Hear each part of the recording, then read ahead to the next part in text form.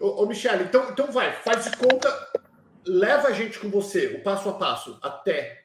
Ok. Até depois que bateu na porta e falou, vamos, vamos aonde? Colocou um carro, bicicleta. Pra, pra mim chegar, para mim chegar até o México, tudo bem, tava com a minha, com a minha mala, tudo certinho, né? Com roupas, pá. Ok, agora são, é, muda já a história, muda o quadro, já não é mais turismo, enfim, agora é uma nova história, né? Começava ali. Eu peguei uma mochila pequena, coloquei roupa pro meu filho, coloquei. Eu lembro que, como eu, eu não sabia como ia ser a nossa trajetória, e eu lembro que eu coloquei é, pedaços de pão. É, isso, tipo assim, é uma coisa que eu, eu até me emociono quando eu conto, porque foi uma das coisas assim, bem difíceis para mim. Eu falei, meu Deus, eu estou atravessando o México com meu filho pequenininho, meu maior tesouro, meu bem precioso, para a gente tentar uma vida melhor para a gente. Eu ia por ele, entendeu? Não era só por mim, era por ele, era pela gente, para nossa família. E eu peguei água, uma garrafa de água, e, e mais ou menos uns dois pães e coloquei numa sacola, porque eu não sabia que, qual ia ser a nossa próxima refeição, que horas a gente ia comer, e o meu filho cheio de problemas, cheio de, de alergias, que não ia ser qualquer comida que ele poderia comer. Até aquele exato momento estava tudo bem, estava tudo bem. Agora, a partir dali é que começava a minha história de verdade. Então, o que é que eu fiz? Eu coloquei na bolsa as roupinhas para ele, porque eu sei que ia estar frio essa noite, que era deserto, que eu ia atravessar, era rio que eu ia cruzar. Então, eu coloquei jaqueta, ele estava com uma botinha, duas calças, três camisas, ainda peguei uma outra jaqueta do Homem-Aranha dele e amarrei na cintura para mais todos os cuidados. Para mim também, coloquei jaqueta, calça e roupa de frio, porque tava frio, à noite faz muito frio lá. E foi onde a gente Aí levou a gente para uma casa e nessa casa a gente a partir daí começou a mudar. A senhora ofereceu para a gente beber um suco, pra, ofereceu para minha amiga, eu falei, eu não bebi, eu não bebi, gente, eu sou muito, eu falei não, muito obrigada, não quero, porque eu não sabia, gente, o que, poderia acontecer, o que, que poderia estar naquele suco, entendeu? Então, assim, a minha amiga bebeu. Eu falei, não bebe. Tipo, tá bem, fala que você tá bem, que você não precisa, agradece, mas não bebe. Ah, ela bebeu. Bebeu um copão de suco. Mas, enfim, não tinha nada, graças a Deus, mas era só cuidado meu mesmo. Uhum. Enfim, gente, é, tinha umas pessoas, assim, muito estranhas, gente. Foi é muito estranho eles usando lá as coisas deles, né, que eles usam, né? E olhando assim, eu ficava, meu Deus do céu. Meu Deus, sempre. Peraí, peraí, calma. Você está numa casa. Essa casa está onde? Que usa eu saí da casa, eu saí da casa legal, da casinha ótima que eu estava, certo? Uhum. Tem tanta casinha muito boa. Eu fui para uma segunda casa, onde me transferiram para uma segunda casa, para um segundo carro, entendeu? Então, desde, até que as pessoas se preparavam para pôr eu e a minha amiga no carro para a gente ir, foi onde eu eles ofereceram o suco para a gente tomar Entendi. tal as pessoas estavam na frente lá, usando as coisas loucas dele lá, e eu só observando. Usando o que louco? Droga? Usando droga? Sim, não sei, talvez. Não sei exatamente. Eu via eles muito estranho, né? Mas. Uhum. E, enfim, chegou dois, eh, chegou dois homens com um barquinho inflável. Um barquinho não, gente, uma boia inflável. E eu sabia que eu tinha que atravessar um rio. Gente, eu não sei nadar. Eu não hum. sei nadar. Não sei nadar. E até entanto, falei, tá bom, a gente entrou numa caminhonete e entramos para sentido um rio. E, tava, e já estava meio que na boca da noite. Alguém sabe o significado da boca da noite? Rondônia fala isso. Quando começa a querer ser seis horas, cinco, seis, para anoitecer. Tava mais ou menos esse horário. E gente, eu lembro que a gente estava dentro de uma caminhonete. Lembra que eu fui transferida de carro uhum. e eu fui sentido o rio a gente foi sentido rio, então tinha assim uma estrada bem feia, muita poeira, muito feio. Então tava eu, minha amiga e mais uma pessoa que tava aqui a pessoa que estava dirigindo o carro. Então a gente foi até o rio e para atravessar. Tá. Eu lembro que fui eu primeiro e meu filho. E a pessoa falou assim: é, entra aqui, você e seu filho, que eu vou atravessar vocês eu falei, aqui, nessa coisa aqui? É, aqui, aqui mesmo. Eu falei, eu falei, gente, eu não sei nadar. Ele falou assim, tá tudo bem, eu te ajudo. E eu não sabia a profundidade desse rio, se era muito fundo, se não era. Enfim, fui, coloquei meu filho, sentei, uma boia, gente, uma, uma boia com um plástico embaixo amarrado com, com uma borracha. Eu lembro que eu sentei, coloquei meu filho no meio e só pensar em Deus. Falei, ah, meu Deus, seja o que o Senhor quiser. E fui. E eu lembro que começou a entrar água, porque a, a pessoa, é, tipo, que a água tava meio que funda já nele, assim. Tava meio que, meio que começando já a fund, não fund, afundar, claro, que ele tava nadando. Eu senti que não dava mais pele. E começou a entrar uhum. água na minha boia. E eu lembro que eu molhei, me molhei toda, eu me molhei, meu filho me molhou, e eu falei, meu Deus do céu. Só que, gente, graças a Deus que o, o, o rio não era tão largo, tão largo, mas era um rio e tinha correnteza e tudo. Mas, enfim, a gente conseguiu chegar do outro lado, e tinha como um barranco muito alto para a gente subir. Dali, para dali eles. Acabou. E a pessoa só faz aquilo ali para você, só aquela, aquele momento ali. E na hora que foi vir a minha amiga com, com o filhinho dela, o filhinho dela começou a chorar começou a chorar porque ele ficou muito desesperado, ele viu aquilo muito ele viu aquilo com muito muito estranho para ele, né? Então ele começou a chorar, chorar e não pode chorar, não pode fazer barulho, porque a gente já estava ao outro lado, já era os Estados Unidos. Então a minha amiga conseguiu acalmar o filhinho dela e eles entrou e atravessou também. Daí para frente, gente, ele simplesmente deu tchau pra gente deu tchau pra gente. Eu falei, pra onde eu vou? O que, que eu vou fazer? Ele falou assim: segue os postes. E cuidado para você não ver um carro assim, assim, assim, que alguém pode te sequestrar. Eu falei, como? É. Uau. Cuidado, porque não entra em carro assim, assim, assim, porque eles podem te sequestrar. Eu falei, e enfim, gente, eu continuei a viagem, continuei, atravessei o rio, eu e minha amiga e tal, a gente pegou na mãozinha dos nossos filhos e começamos a caminhar. Caminhamos, caminhamos, e nada de carro, nada de nada, nada de nada, gente, nada de nada. Não aparecia polícia, não aparecia ninguém. E escurecendo, escurecendo, a noite só caindo. Quanto mais e mais escuro, e eu falei, meu Deus, e eu via só as luzes dos Estados Unidos lá, porque eu já estava do lado dos Estados Unidos.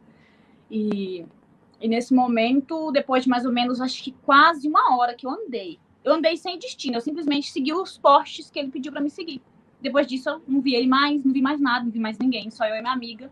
Eu tinha ali, gente, tem cobra, ali tem, tem sequestradores, tem muita coisas ali que, que poderia acontecer. E uhum. nesse momento, eu lembro que depois de mais ou menos uma hora que a gente estava andando, chegou um policial, a polícia, a, a viatura dos Estados Unidos. De imigração. De imigração. Eu, na verdade, gente, eu tava já, assim, pedindo para eles aparecer mesmo, porque eu já tava sem saber para onde a gente ir. E o medo também de vir outras pessoas, entendeu? Melhor a gente estar tá na mão deles, do que é mais seguro, que é 100% seguro, do que você cair na mão de sequestrador. Quando, quando, a imigração te pegou, que, como, que eles, como que eles chegam? Eles chegam falando mão para a cabeça, sim ou não? Não, gente, não, eles não fazem isso. Eles é a única coisa que eles te perguntam: vocês estão só? Vocês têm alguma coisa de arma de fogo? Vocês têm alguma faca? E a gente fala: não, a gente está só a gente, não temos nada. E nesse dia, eu, é, a pessoa que, que, que, que encontrou a gente, ele até já tinha ido, no, tinha ido no Brasil, conhecido o Brasil. Ele perguntou de onde a gente era. E eu falei: não, eu sou brasileira. Aí ele atendeu a gente super bem e colocou a gente no carro e eu, meu filho, a minha amiga e o filhinho dela. E aí leva, leva para onde?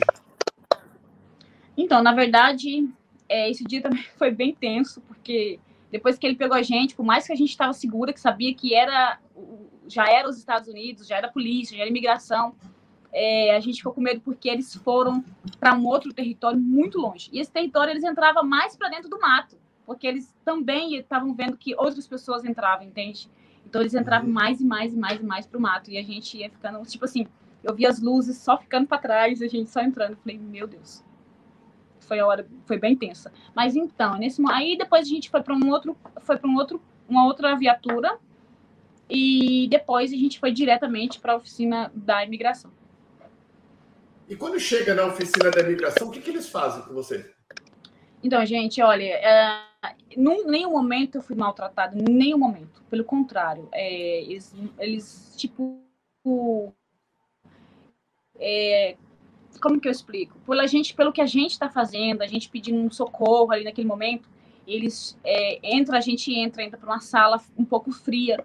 Por quê? Porque essa, essa sala muito fria, ela é muito fria, gente, muito fria.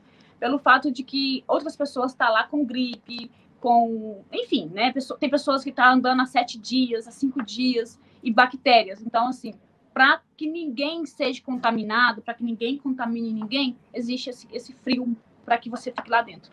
E eu fiquei lá dentro por mais ou menos um dia e meio. E era muito frio, muito frio. Então eu saí para fora e pedi socorro. Eu, eu saí e falei para a xerife, tinha uma xerife lá, e inclusive ela falava português, ela fala um pouco português, falava porque é né, o sentido que eu estou contando do passado. Uhum. Então é, é eu pedi ajuda para ela, falei assim, eu chorando, gente, desesperada. Eles queriam separar meu filho de mim e eu chorei desesperadamente e pedi para eles não separar, eles não separaram. Era o meu maior, um dos meus maiores medos, por causa devido, gente, à, à enfermidade que meu filho tinha. Esse era o meu maior medo, meu maior medo, porque se colocasse meu filho numa, numa sala fria, uma criança que tem bronquite, pneumonia, problema respiratório, enfim, essas coisas todas, o que, que acontece? A tendência é piorar, meu filho ia ficar no chão, enfim, gente, eu não sei o que poderia acontecer. Mas só deles não ter separado meu filho, meu filho permaneceu comigo, gente, do início ao final, sempre comigo. Em nenhum momento meu filho ficou longe de mim. E eles davam de comer, tudo de boa. Sim, é, a gente entrou para essa sala e todo mundo junto ali, sentado. É uma, é uma situação bem, bem ruim. E depois disso, eles dão tipo um papel alumínio para você se, se, se esquentar um pouquinho, né, do frio. E depois eles dão um arroz e feijão, tipo um burritos, tipo, sabe? Uhum. Aquela massinha burritos da... mexicana. Uhum. Isso. Gente, meu filho não comia. Isso me partiu o coração, porque meu filho era muito magrinho na época. Ele, ele não comia. E o que ele tentava comer, ele vomitava. Qual que era a idade ele vomitava dele? tudo. Na época? Ele tinha seis anos na época. Hum. Seis para sete anos, era. Seis para sete anos. Então, assim, ele, e ele tinha problema de estômago também, por causa devido do leite, da alergia dele. Uhum. Então, ele não comia. E eu tentava, João, come, come, porque se você não comer, meu filho, a gente não sabe quantos dias a gente vai, vai ficar aqui. E era só esse tipo de comida. Aí eu entrei para cá, eu entrei, eu pedi para pedir a eles, eu fui para a oficina do pro, pro escritório mesmo da imigração e pedi socorro. Eu falei, me tira eu meu filho daqui de dentro, porque senão meu filho vai morrer, meu filho não come, meu filho não se alimenta, a comida daqui ele não consegue comer. E aí, gente, foi onde eu fui transferida. Nesse momento, quando eu pedi socorro para essa xerife, que ah, eu sou muito grata a Deus pela vida dela, ela me transferiu. Ela falou assim: então tá bom, eu vou te mandar para outro local. Me tirou da sala fria, ficaram lá, inclusive a minha amiga ficou, e eu fui para outro local. Chegamos em outro local que também é, uma, é como se fosse um abrigo, e chegando lá, aí começa a melhorar um pouquinho a comida. Tipo, você já tem mais espaço, já não tem mais aquele frio. Aí eles te dão maçã, leite, caixinha, né? Coisinhas assim, leite, maçã, essas comidas. E o meu filho só comia maçã. Meu filho ficou, a gente ficou quase quatro dias lá comendo maçã, suquinho de maçã, é, sabe aquelas batatinhas fritas, essas coisinhas. Uhum. Gente, meu filho saiu desmaiado de lá de dentro saiu desmaiado lá de dentro, porque a gente foi. Aí passamos essa temporada aí dentro. Daí eu fui para outro local. A gente fiquei mais sete dias em um outro local. E nesse dia a gente saiu, a gente viajou seis horas, porque eu tava. Não lembro a cidade, eu tava no, no Texas, claro, né? Mas eu não uhum. me lembro se eu tava em Santo Antônio, alguma coisa assim. E daí eles me transferiram para um outro local que a gente viajou seis horas. Meu filho, ele já, ele não, ele não saiu exatamente desmaiado, ele saiu todo mole. A gente viajou, viajou e ele porque ele não comeu durante esse tempo todo para trás. Quando eu cheguei no hospital, quando a gente chegou no local, lá tinha médico, né? Tinha tudo certinho. Quando a gente chegou uhum. lá, eu já saí com meu filho carregado. Meu filho vomitando, já carregado nos meus braços, praticamente desmaiado. E, e eu cheguei pedindo socorro de novo pedi socorro outra vez, falei, meu, saí na frente de todo mundo, porque tinha um ônibus, gente, cheio de gente, um ônibus cheio de gente. Eu saí correndo de novo, fui desesperadamente pedindo socorro. Eu não falava inglês, um pouquinho espanhol, por ter morado em Londres um tempo, então convivi, aprendi um pouquinho espanhol e pedi socorro. Falei: olha, meu filho está morrendo, meu filho tem uma semana, tem tantos dias que meu filho não come, meu filho só bebe água, assim, assim, assim, assim. Rapidamente, gente, levaram meu filho para a clínica, já foi atendido atendido por um doutor, deram um remédio para ele, onde ele começou a, de novo, a, a, voltou normal.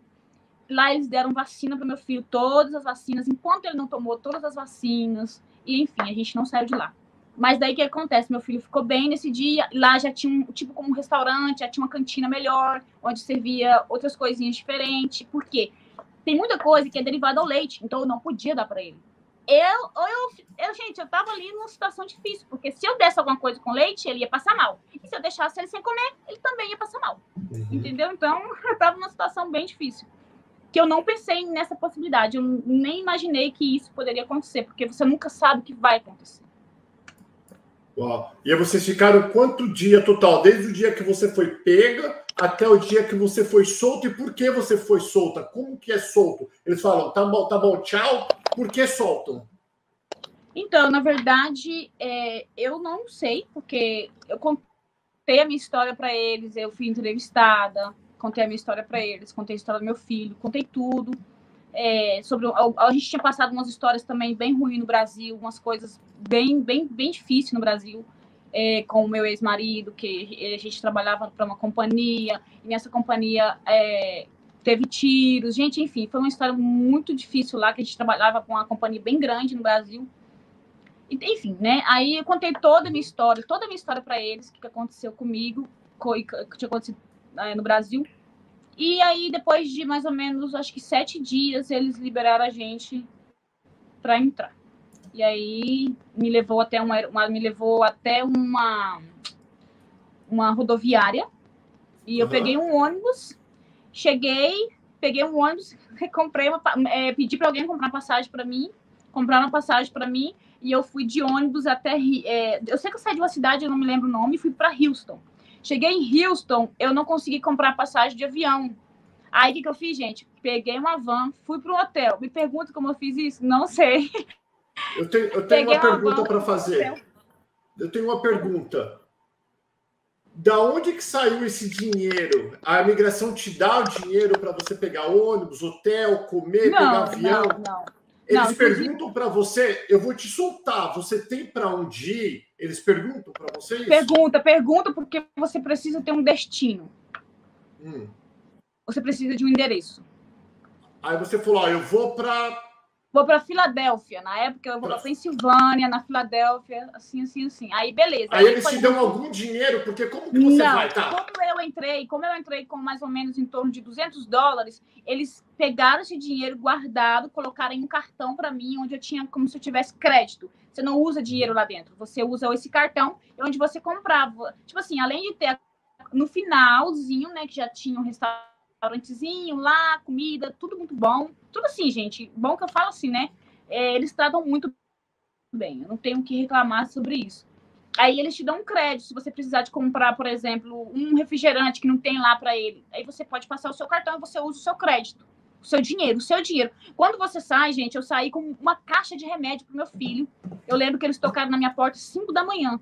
E eles falaram assim: ó, hoje você vai sair. Você não sabe, gente, que dia você vai sair, quanto tempo você vai ficar. Eu lembro que eles tocaram a minha porta e disse: hoje você vai sair. Aí, beleza. Aí eu peguei, eles entregaram, entregaram meus pertences, saí com uma, uma, uma, sacola verde com tênis lilás. Porque lá, lá, eles te dão roupa, né? Você não sai com a sua roupa, você sai com a roupa deles. Mas eles devolveram tudo bonitinho, me deram a minha caixa de remédio que eu tava levando pro meu filho, que eu levei remédio de ouvido, remédio de dor de cabeça, remédio de alergia, remédio de tudo que você eles pensar. Eles devolvem todos os pertences. Eles devolveram todos os meus pertences. Uhum. Absolutamente tudo, gente. Tudo, tudo, tudo.